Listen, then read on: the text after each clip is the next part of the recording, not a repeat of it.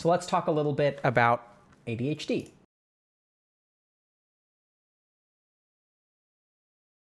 So, ADHD when you are passionate about what you're doing. I've been working on this project for 10 hours straight. I've accomplished in one day what would take a normal person an entire week. Nothing can stop me. I'm a god. And ADHD when you aren't passionate about what you're doing. Washing dish is very hard, right? So, this is like a pretty funny meme.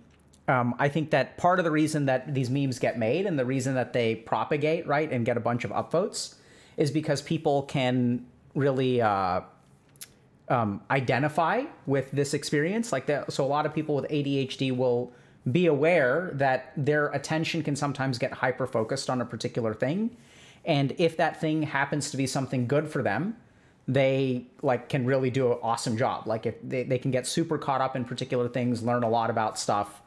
Um, you know, like get super into crypto, for example, and then like read crypto stuff for like 10 hours and like learn a ton about crypto. And then the, the challenge, though, is that it's not really your choice what you choose to hyper focus on. And so it feels a little bit like a roll of the dice where like if it's if it's a good thing to get hyper focused on, that's awesome, right? And then we're over here on the left. And if it's not a good thing to focus on, then you kind of wind up on the right. So we're going to talk a little bit about this phenomenon, but before we do, I want to share actually a post, um, which we're not going to go over the whole thing because it's it's relatively long, uh, but I think that it's actually like a really good post. So, someone in our community a few days ago mentioned that they had serious concerns about your ADHD. Is it actually an advantage video? And so, um, you know, they go on to sort of talk a lot about myths, some of which I kind of talk about. They also cite, um, you know, Dr. Russell Barkley, who's an expert on ADHD. And, and so they're sort of sharing some of the concerns about the ways that we represent ADHD or we talk about ADHD for what it's worth, I, I kind of responded to the post and stuff like that, and some of the things that I sort of said about some of the other videos, and I sort of said I, I completely understand your criticism. Uh, for what it's worth, we're going to be like revisiting, or we've already started the process of revisiting how we title our videos. Um, so that feedback has been really, really useful because I think this person had a super, super valid point. And so hopefully, as a result of this feedback, um, you know, we'll improve, and therefore we'll be able to help more people. So we're always open to feedback for people who are sort of telling us, hey, we think you should be doing this better. Um, and we have concerns about this and this. And as long as it sort of supports the mission of what we're trying to accomplish at HG, we're more than happy to receive it. In fact, we depend on it, right? That's how we've gotten to where we are today, is based on the feedback of, of the people that support the, the work that we do. So, um, so the, then part of what this kind of comes down to is there's this idea that if we kind of go back to this meme, that like if you have ADHD and you're passionate about something, and if you get kind of like into something, that you can spend 10 hours straight doing it. So this is where it's really important to remember that ADHD is a is a diagnosis of disordered attention, right? So disordered attention, what most people think of with ADHD is that you can't focus on a particular thing and that your mind is very distractible and wanders.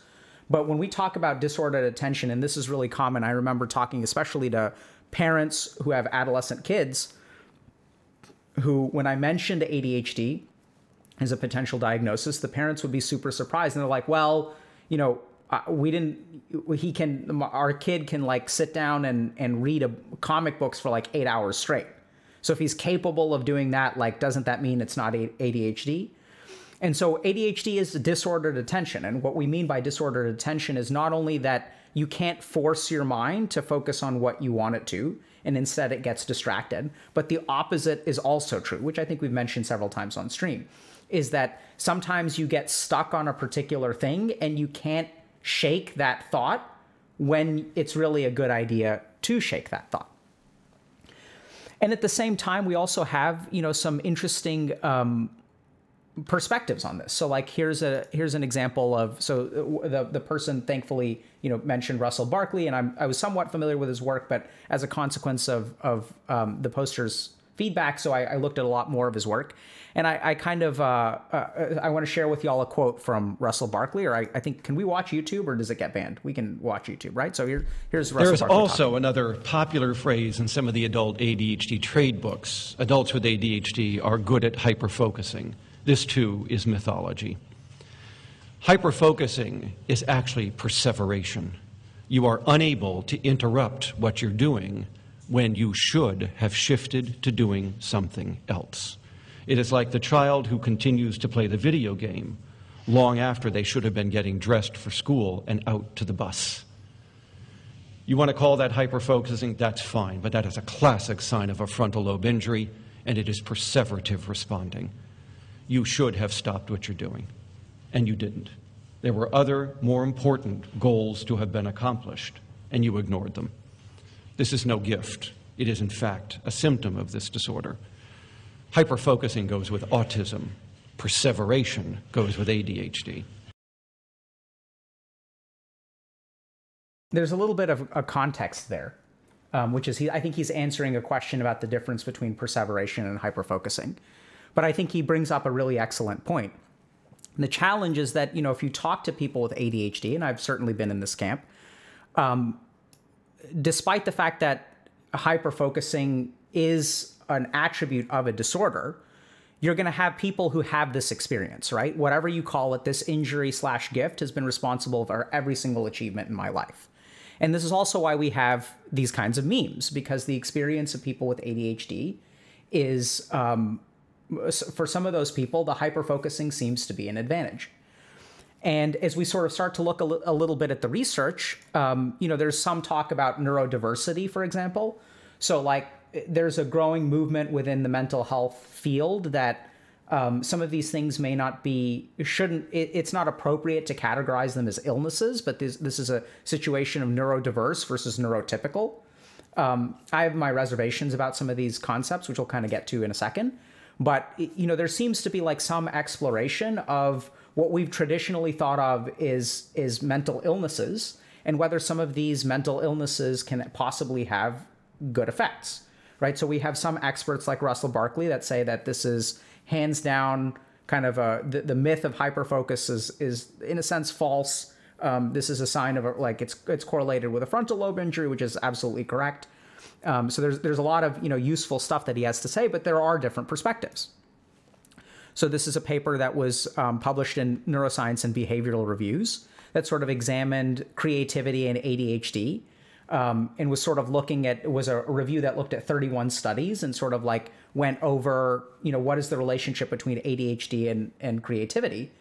And essentially like there's a lot of like mixed stuff in here. I think a lot of the conclusions that they come to are somewhat questionable um, but there are a few interesting findings from from th- this study so one is that um, most studies find evidence for increased divergent thinking for those with high adhd scores but not for those with the disorder, clinical.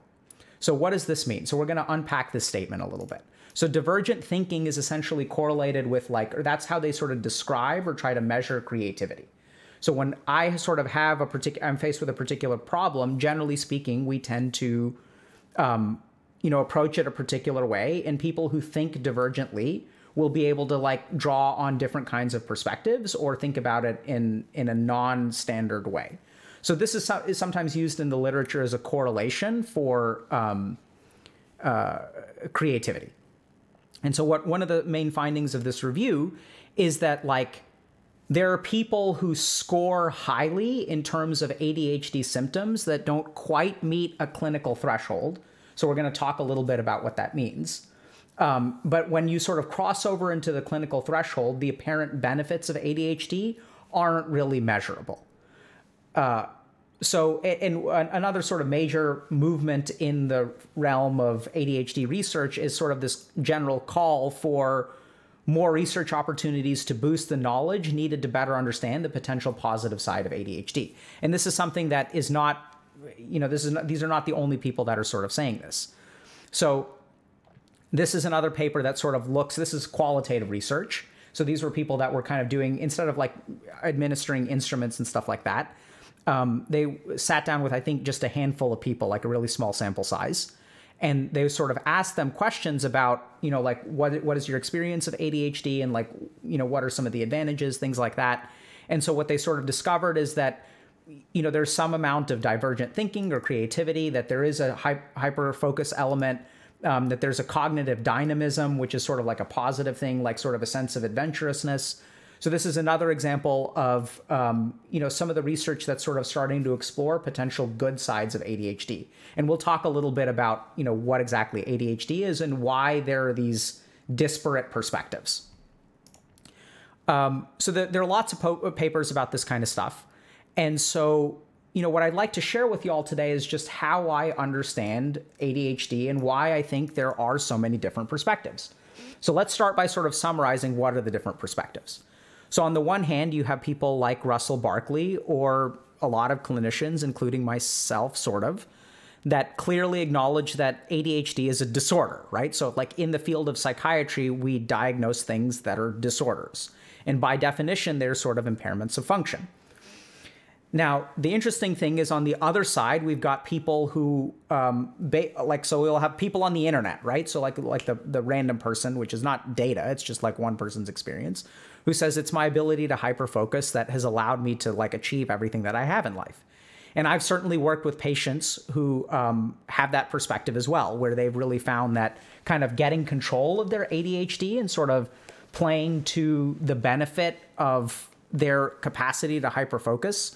There are even some papers, but I, I, really didn't think these were very rigorous, that sort of equate the hyperfocus of ADHD to the flow state, which I think is actually quite different.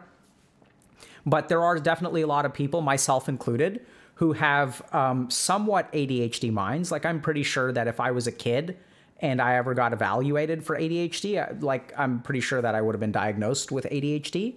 Um, so just thinking through the diagnostic criteria, like I think I check a lot of those boxes. But I think that I fall under the category of people who are a little bit more subclinical. And so what does that mean? So I think a lot of the reason that we have such a diverse perspective on ADHD is because when we think about ADHD in the Western medical sense, when you think about Western medical diagnosis, it's binary, right? So what we do in, in psychiatry is like we diagnose you or we don't diagnose you.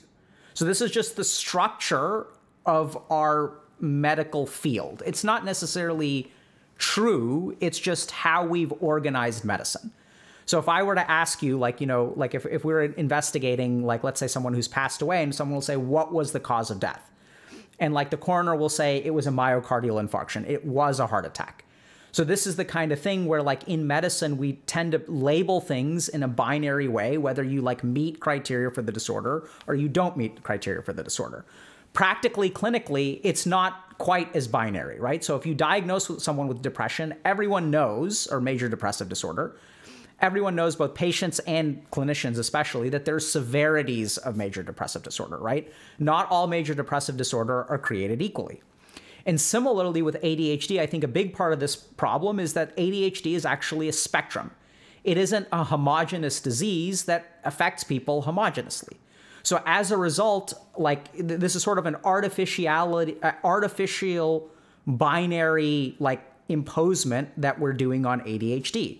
And so then what happens is we get disparate perspectives because we've actually got a bell curve of ADHD symptoms, and people are at different places in terms of the severity of their ADHD, how beneficial their ADHD is, and we'll kind of talk about that in a second. And so I think the simplest reason that we get some of the, these disparate perspectives is it's not that one person is right and one person is wrong. I think my experience as a clinician has been that you know people tend to experience mental health in a very individual way, um, but that there's actually a perspective. Uh, you know, there's a scale of different perspectives. And this is part of the reason that, you know, when I first started talking about ADHD, I, I talked a lot about Ayurveda because I had personally found that the Ayurvedic conception of ADHD fit better uh, uh, uh, was a better fit for people's experiences than actually like the Western binary sort of perspective on ADHD. Part of the reason that we've sort of scaled back on our Ayurvedic discussion recently is there was once again another post that offered a lot of really good criticisms about some of the scientific studies we were citing and the low quality of those studies. So I don't know if y'all have noticed, but we've sort of taken a step back from Ayurveda. That doesn't mean that we aren't, we're actually actively revisiting it. So we're sort of looking through the research and really trying to, to read tons and tons of articles to really figure out, okay, what is it, what can we say that's like sort of scientifically valid and like, you know, what is like more of our interpretation, which by the way, I'm totally fine doing, right? So I'm totally fine on stream. And I, I hope, you know, I make this pretty clear that sometimes what I'm saying is very supported by science. Sometimes what I'm saying is more supported by clinical experience. And sometimes what I'm saying is not based on medicine or science at all, but is more personal or spiritual in nature. And I think a lot of the people that appreciate our community are, are ones that sort of appreciate the spectrum because there are different ways of looking at things. And so, kind of going back to ADHD, I think the, the challenge is that there are, you know, a spectrum of different experiences. Um, as a result, people are going to have different perspectives on how impairing ADHD is. And so I think the, the important thing to kind of remember, there are a few important takeaways. The, the first is that ADHD is a spectrum.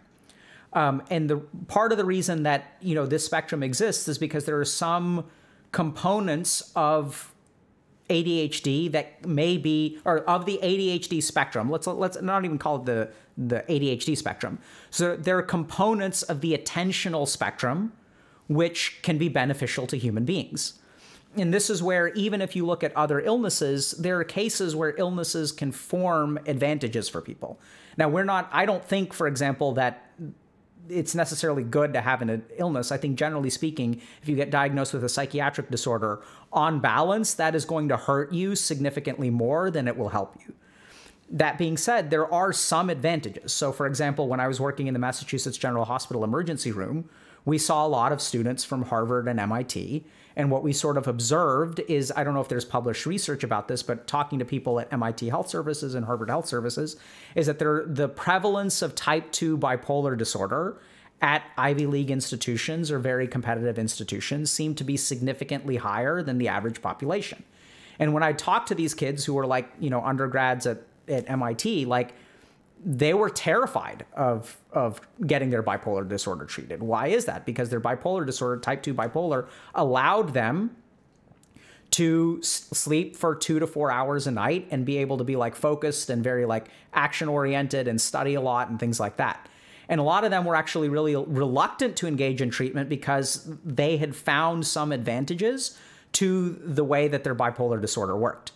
Now, once again, on balance, it was my kind of experience. And generally speaking, you know, I, I would recommend strongly recommend treatment to these people because even though there may be particular situations in which a particular mental illness offers an advantage, on the whole, it's like it hurts more than helps. So, like, sure, you're sleeping two to four hours a night for the two weeks before finals because you're hypomanic and it helps you do well on your finals. But then for the next three months, six months, you're you crash, you go into a deep depression, and your grades the next semester are absolute trash because like you know you're depressed. So so e- even though an illness may have particular advantages in particular cases, that on balance, it's been my overwhelming experience as a clinician that you don't really it's not worth it essentially. And so the, the, kind of the next thing that I want to talk about, so just to review a little bit about what we talked about. So the first is why is there, you know, why do people share these different perspectives?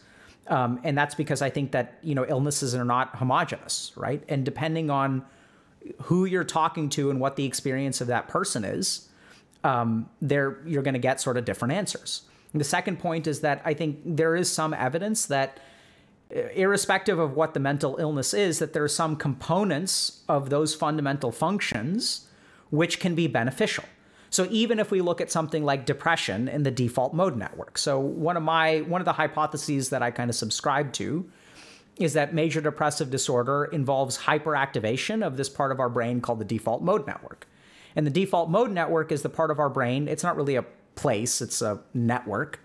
Um, so it's not localized to like a particular anatomical region, is responsible for self reflection. So it gives us the ability to think about ourselves. And when people get depressed, they get stuck thinking about only themselves, themselves in a negative way. So it's sort of a hyperactivation of that. But the default mode network is actually a really useful part of our brain. And if we look at what mental illness is, it tends to be that our brain sort of functions a particular way. And then if parts of our brain become hyperactive or hypoactive, or even the as a human being, we interact in a particular social circumstance or an environmental circumstance that sort of exposes some of the vulnerabilities of, of however our brain functions, then we can get diagnosed with a disorder. A good example of this, for example, uh, is that you know kids are more likely to be uh, diagnosed with ADHD if the ratio of students to teachers in a classroom is bad. So if there's tons of students and very few teachers, you're more likely to diagnose kids with ADHD than if the student teacher ratio is more favorable. right? So that sort of suggests to us that people will present for psychiatric help. It's not just what's going on in your brain, it's brain plus circumstance. And that theory, by the way, I think is relatively well supported. So when we think a little bit about psychiatric illness, even things like major depressive disorder, oftentimes what we'll find is that there's a genetic predisposition or maybe a family history, and then a particular circumstance triggers the depression. Right? So like you were totally fine until the age of 26 when you got fired from your job and then, you know, your partner broke up with you and then you had to move back home with your parents and that sort of triggered the depression. Now, did those sort of cause the depression? Sure. But then, then what happens is like there's an independent neurochemical process which starts in your brain, which may go beyond the circumstances. So then let's say you start dating again and you find a new job and you move out of your parents' place, but you still feel super depressed. That's a good example of separating out, you know, the disease from the general trigger from the disease. Another thing about the researcher on ADHD is that I think that, uh, as people sort of pointed out when they were kind of, um, if you look at some of these papers on, you know, creativity and stuff, one of the things that they point out is that research opportunities to boost the knowledge needed to better better understand the positive potential positive side of ADHD. There are almost always calls for you know more. Um, uh, moreover, the sizable prevalence of hyperfocus in adults with high levels of ADHD symptomo- symptomology leads to the need to study it as a potential separable feature from ADHD. Right? So generally speaking, a lot of people are call, calling for more research on the positives of ADHD. And why is that? It's because generally speaking, when we look at studying an illness, the first kind of selection bias tends to be towards the sickest people. So another good example of this is like if you look at the research on sociopathy, a lot of the conclusions that we draw on sociopathy are based on populations where you can find and recruit sociopathic individuals. And can anyone guess where is the largest, most consistent population of sociopathic individuals that you can easily recruit for studies? Prisons, right? And so as a result, what we've got in our research is that we're studying like the, the our inclusion criteria and stuff like that, right? Because you've got to think a little bit about the perspective of a researcher. If I want to conduct a study on ADHD, am I more likely to take someone who's definitely got ADHD or someone who's kind of on the border, right? So I'm my inclusion criteria are going to be like relatively strict in terms of like I definitely want people who I know have ADHD because that's how we're going to learn about the illness. And the truth is that somewhere in that middle ground, those people may actually have ADHD, but it's just less of a clear cut decision, requires like a full clinical evaluation, which, by the way, when people are recruiting for studies, they don't do usually do full clinical evaluations with neuropsych testing and all that kind of stuff, right? So usually like we'll use some kinds of standardized instruments. You fill a couple forms, and if your numbers are super high, you get enrolled in the study. Drug manufacturers, by the way, also do this because there's evidence that shows that, for example, the sicker you are, the more antidepressant medication helps. And so what they'll tend to do is if they want to show a big benefit, if they say that this is going to make your depression, you know, way better, the larger largest benefits are going to tend to be seen in the sickest number of people. So another simple example of this is let's say I've got, you know, a 101 fever and a 103 fever and I take antipyretic medication both of those in both of those cases chances are the antipyretic medication is going to break my fever and bring me back down to 98.6 but if i'm a drug manufacturer i can say that the effect size is way better if i recruit people who are like 103 right? So now i can show a larger magnitude of change. So i think another big bias that is in our research which i don't, I don't blame it like this is where we've got to start somewhere right is that if you look at like studies on ADHD, they tend to focus on the sicker people. They tend not to focus on this kind of subclinical population. If you call it subclinical, that means that they may not even meet the disorder criteria for the disorder, or they may may meet the criteria for the disorder. So I personally, as a psychiatrist, have seen a ton of people who um, meet criteria for the disorder, but can actually manage and, and even utilize some of the dynamic nature of their mind. It's something that I myself have sort of learned how to manage And by the way, um, you know, there are studies that show that kind of behavioral interventions or psychotherapy interventions like cognitive behavioral therapy can be just as efficacious as medication in treating ADHD. And I've had a lot of experience with people who, you know, once they sort of understand how to manage their ADHD, can actually like perform really, really well. And I will hear these kinds of things where people will say, you know, I'm really glad actually my, my you know, the dynamic nature of my mind really manages, helps me keep up with a lot of stuff. So I'll give you guys just one quick example of a friend of mine who, um, you know, we went to medical school together, and then they really found they struggled a lot because they had ADHD, and so they actually left medicine and moved into the field of commercial real estate. And what they really found is that like all of the ways in which their difficulties sitting there and reading a book um, was a handicap in the field of medicine, which it absolutely was. Their brain was not functioning the way that most of their colleagues were actually seemed to them subjectively to be an advantage in the field of like commercial real estate because they could manage like a thousand different tasks. They were really good at multitasking. Interestingly enough, they could also read contracts that were 50 pages long, so I don't really understand what happened there. Um, but the point here is that you know people have diverse experiences. I've also had patients who are the very opposite of that, and that ADHD for them is absolutely a disorder, absolutely an impairment and absolutely like wrecks every dimension of their life. So this is not just like affecting their professional life or academic life, but really impacts their relationships because when their partner tells them, "Hey, are you going to go to the grocery store?" and they're not paying attention, and they say, "Yeah, I'm going to go," and they're like, "Can you please pick up these three things?" and they said, "Yeah, okay, sure." They they think they're paying attention, but they're not paying attention, and then like six hours later, when it's dinner time, and then the like partner asks them, "Hey, like, where's that stuff?" and they're like, "What stuff?" And they're like, the stuff that you said you were going to go get. What? What are you talking about? Right? So th- this is where it's like it's okay for ADHD to be sort of a spectrum, and it's okay for people to have different experiences of it. And if you are someone who is concerned that you have ADHD, what should you do about it, right? So like, what do I know to what should I believe? Should I believe Russell Barkley, a random person on the internet, this paper that talks about ADHD as a potential source of increased creativity. Like, what should I believe? And this is where I'd say at the end of the day, like, you have to kind of decide for yourself, right? Because it is a spectrum. Not all, all illnesses are the same within all people. So, uh, depression is going to manifest in a discrete and unique way in every single person that's ever lived. Because the way that that, that illness manifests is shaped by your personal experiences, your history, you know, your background, your coping mechanisms, your strengths, your support structures. And that's why we have clinicians, at least so far, instead of robots.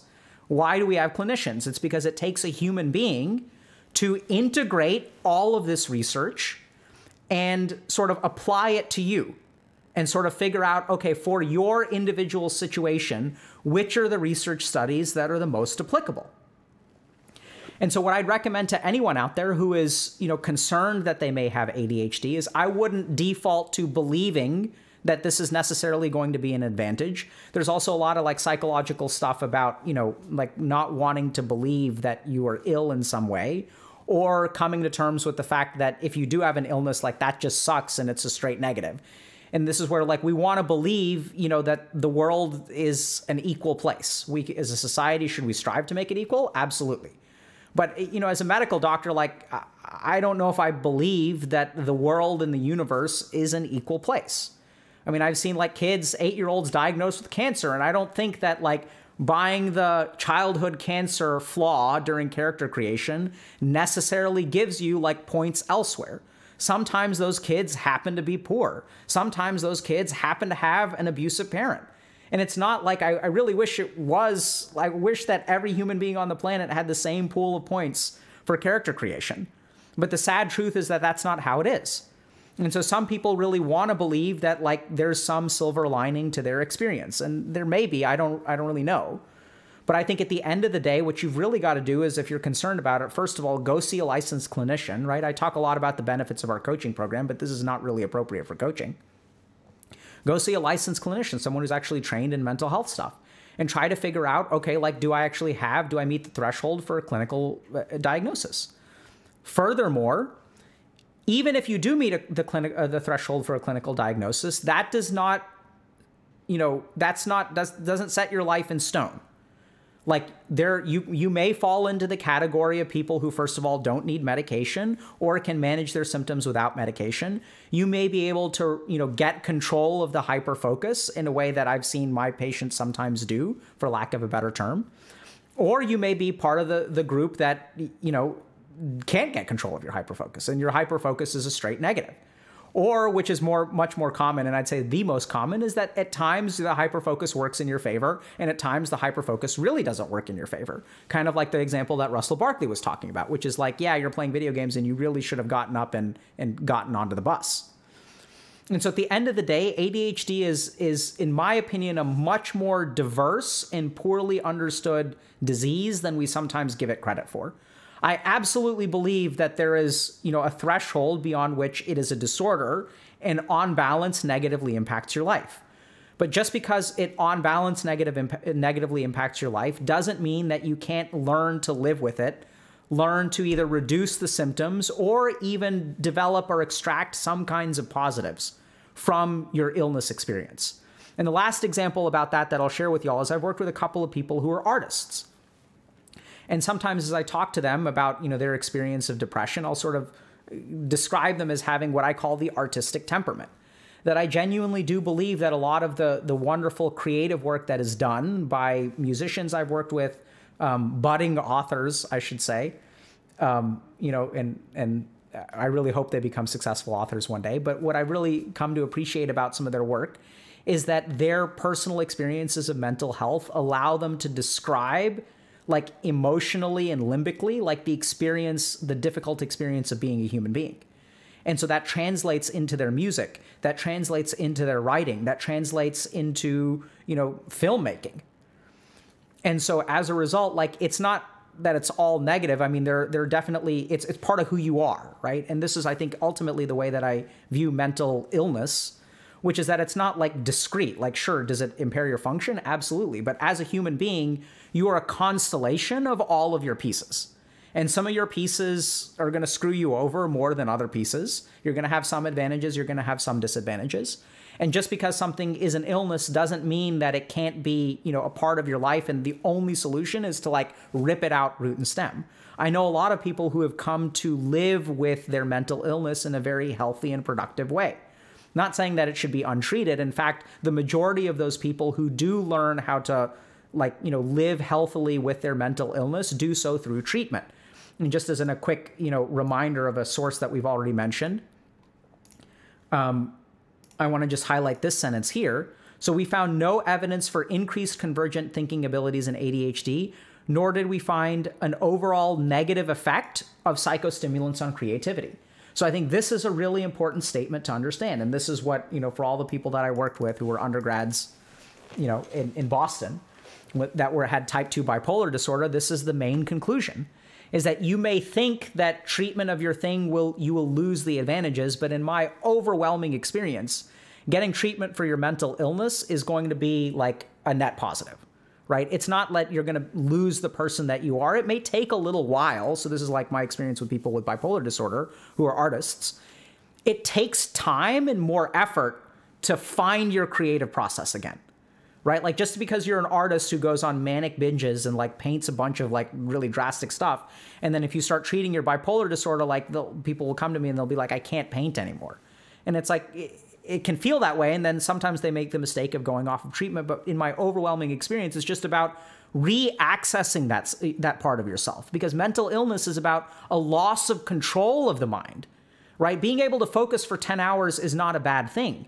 It's the inability to choose what you focus on when you focus on it for 10 hours. That's the bad thing. That's when the illness gets the best of you right so a big part of learning to live with mental illness is sometimes our mental illness gives us a shortcut and can give us advantages. We see that with the type 2 of bipolar disorder too, where it's like these people are relying on the the hypomania to help them study. Whereas like if you start treating your bipolar disorder, the hypomania won't let you study, but it's not like you can you can't study without hypomania. Right? It's just like you're going to have to learn some new skills because it's almost like you've been using a little bit of this automatic you know, type 2 main uh, type 2 bipolar disorder crutch or this ADHD crutch or whatever. So it can definitely be an uphill battle. It can be difficult. But at the end of the day, it's almost always, or just just about always, worth getting treatment. Because the truth is, you're not going to lose the good parts of you if you enter into psychiatric treatment. In fact, what's probably going to happen is the opposite is that it may be a little bit of an uphill climb for a little while. There may be a little bit of, uh, of a learning curve, but it's been my overwhelming experience that at the end of that climb, people are way happier and really glad they engaged in treatment.